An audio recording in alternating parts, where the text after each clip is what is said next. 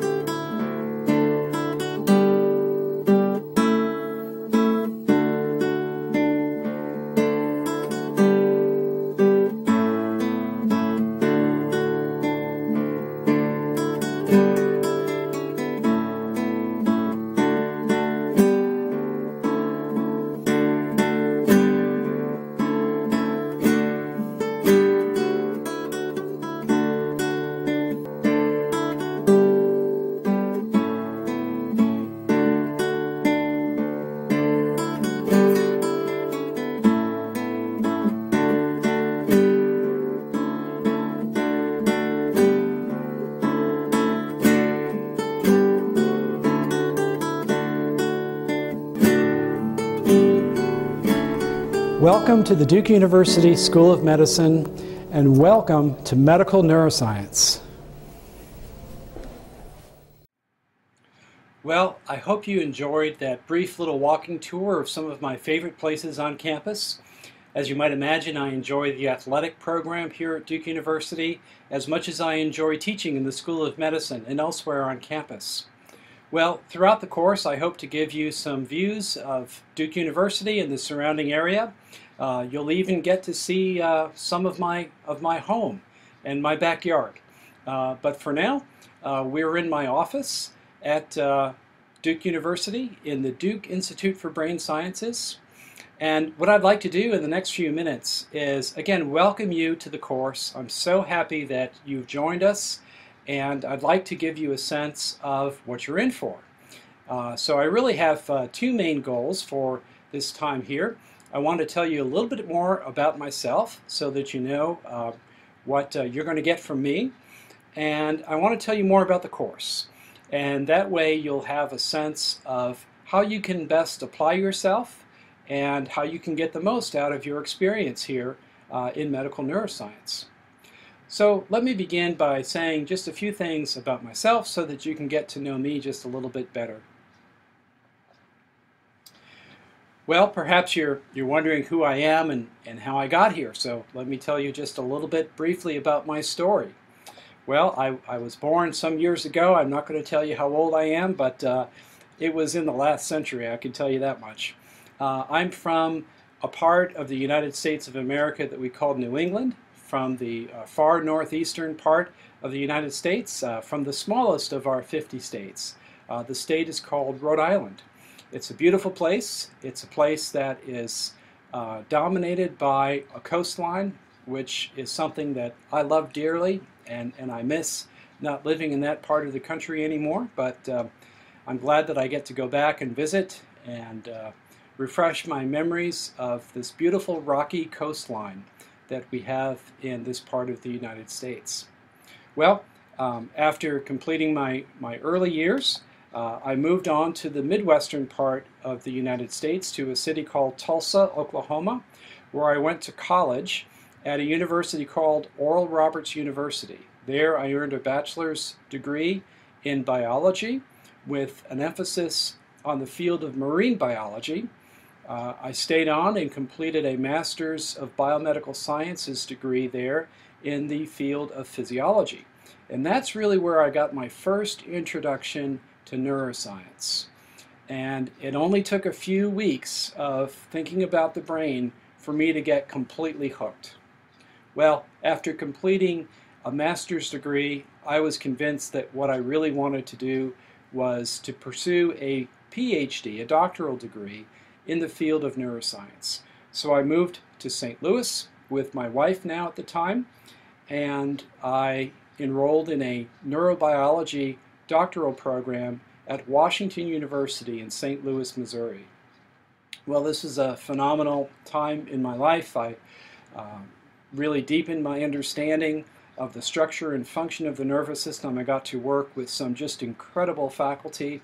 My dissertation mentor, uh, Dr. Joseph L. Price, in particular, was a fabulous mentor and a role model for me, uh, both as a top-notch researcher, a scholar, and as an educator.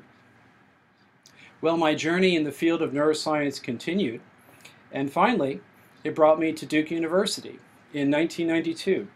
Uh, I first came to Duke University as a postdoctoral fellow in the Department of Neurobiology in the Duke University School of Medicine. I worked as a fellow for several years, and I joined the faculty of the School of Medicine in 1999. And since then, I've been active as a researcher, as an educator, as a scholar, and most recently, I've uh, served the Duke Institute for Brain Sciences as the Director of Education. And that's where we are right now. Well, let me next tell you a little bit about my life and research. I've been interested for almost two decades now in fundamental questions about the organization and function of circuitry in the brain. In particular, I've been focused on the parts of the brain that are responsible for vision.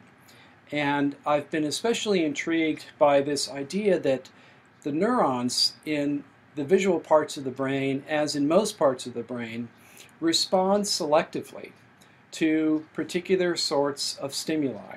And so my principal interest in understanding brain structure and function has been focused on understanding these mechanisms of response selectivity. Well, I've also been interested in understanding how these circuits and how these properties develop in the first place. So I've been uh, active in studies of neural circuitry, especially in early postnatal life, where the influence of nature, that is our genome, and nurture, our early life experiences, collide with the emerging self-organizing properties of neural networks. And I find the interplay among these three major forces in brain evolution and brain development just fascinating, and that continues to be an area of interest of mine as I pursue ongoing research activities.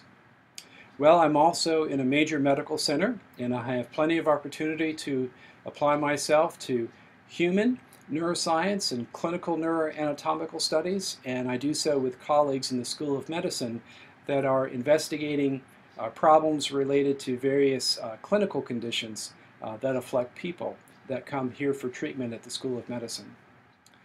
Well, in addition to being heavily involved in research, I am deeply committed to education.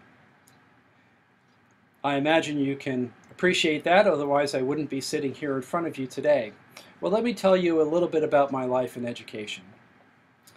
As I mentioned, I'm faculty in the Duke University School of Medicine, and on a yearly basis, I have the privilege of teaching some of the very best students that I've ever had the privilege of being associated with. I teach in the Doctor of Physical Therapy program in the School of Medicine. I teach in the Doctor of Medicine program. I also do some teaching in our Physician Assistant program. So as you can see, I'm involved in teaching all kinds of different healthcare workers, and I find that especially uh, stimulating and rewarding. I'm also involved in supporting our educational mission at the undergraduate college. And here at Duke University, this is called the Trinity College of Arts and Sciences. Uh, we have a relatively new undergraduate major in the field of neuroscience, and I serve this program as the Associate Director of Undergraduate Studies in Neuroscience. I also do some teaching in the graduate school, uh, where I have an opportunity to interact with more advanced learners who've already earned a baccalaureate degree and are now are pursuing doctoral studies themselves in one domain of neuroscience or another. And as I mentioned, I'm the Director of Education for the Duke Institute for Brain Sciences, and this has me engaged all over campus and even beyond campus in various educational activities uh, in our local community. Well, just a little bit more about my life, and of course, uh, this is the core of my life, my family. So I have a wife who um, works uh, here at Duke University as well. She's a physician and has an, a special uh, concern and, and career aimed at understanding how to best care for older adults as they enter the final phase of their life. I have two wonderful kids, uh, one of whom is off at college herself, and the other who is soon to be there.